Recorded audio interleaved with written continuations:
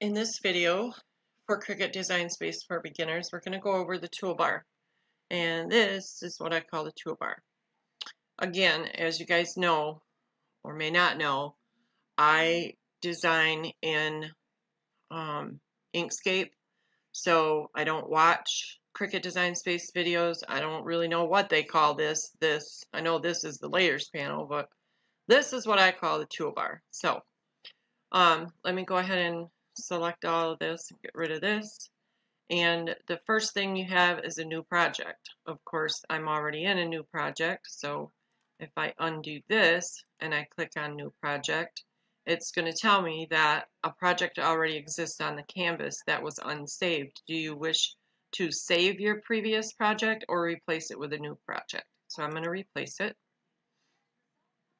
All right, and then the next thing you have are templates and um, you can search by home decor uh, or all home decor fashion gear um, and you can also search here. So if I were to search uh, baby onesies and hit enter there's nothing there. Um, if I was to um, type in frames and there's a couple frames there. Let's check that off. Um, so let me choose a template and it says templates are not intended or are intended for reference only and will not be saved with your project. Okay, so let me zoom out here a little bit and I can shut that off over here in the layers panel on the right hand side down at the bottom is um, my canvas. It tells me that these are athletic shorts and I can turn that off if I want or when I want, okay? I can. I also have some options up here. I have women's knee length and women's short. Okay, I also have um, a custom size, small, medium, large, and extra large. Okay, so this is basically just a template. If I wanted to um, type out Detroit. Uh, let's do it all in caps though. and let's go to advanced and ungroup the letters. And let's say I wanted to put these down the front.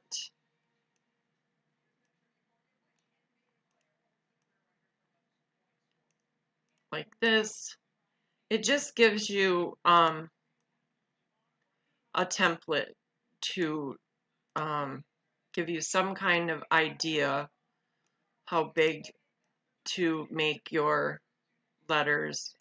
And as you can see, that's far too big. So let me go ahead and shrink that down. And I'll move this back over here. Now I can select all of that. I can go to arrange and I'll align it to, well actually I'll align it to the center and then I'm going to, no, no, no, no, I didn't want to do that. Uh, I guess I will select them all and align them left and then I will distribute them vertically so that the spaces are even in between. Now I'm going to have to do a little adjusting here. Um, but anyway, that's what your template is for. It's just kind of a, a visual, if you want to say that. Okay, so let me just go ahead and turn that off. And then the next thing you have is projects. Now these are all the Make It Now projects, which I've already gone over. Here are all your categories. Um, and here's your search bar here. And then you have images. Now, these are all the Cricut images, okay? And there's a lot of them. All right, so to, um, well, first of all, uh, these little green A's are, if you're an Access member, um, these are free for you. I am not, so everything pretty much cost me 99 cents. There is some free stuff. Um, uh, so let's go to categories here.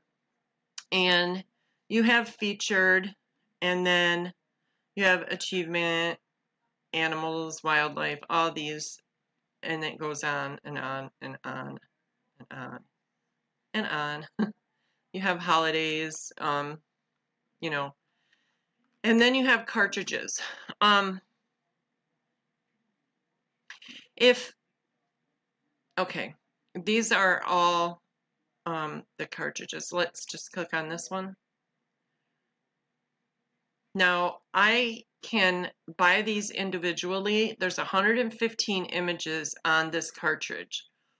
I can buy this cartridge for $29.99 or I can just buy the individual images that I want if I want them. So let's say I want to use this bird. Actually, this one's cuter. and I put them in here and then I go ahead and I design some text around them or um, make a card or whatever and then I go to make it Um, I'm not going to be able to cut it until I purchase it down here on the bottom right hand side. Okay. Um, but these, again, are all um, already made up for you, ready to cut out. Uh, you have all of your bats. Really, all you have to do is size this the size that you want it and go ahead and go to make it. Okay. Um, if you decide that, um, let's go ahead and ungroup this. And let's shut this off. And, okay, I can't shut I can't shut this off to keep it from printing unless I cut, I'm sorry, unless I shut off the bird. Okay. Uh, one way to get around that would be to take a shape. Uh, I guess I'll use a circle and put that over top of that black part and then I'm going to duplicate it because I'm going to need another one and I'll put it over I need to make it a little bit bigger Okay. Now I can select that circle and go back down here, hold my shift key and select this layer here. Um, and I should, maybe it was this one. Um, I guess I'm going to have to move all this off so I can select it. Select this, hold my shift key, select that, and slice. Mm-hmm. See, so then I would select this one, hold the shift key, select this one, and slice. And then I can go ahead and get rid of all of this, and I'm left with the bird and the pieces to the bird.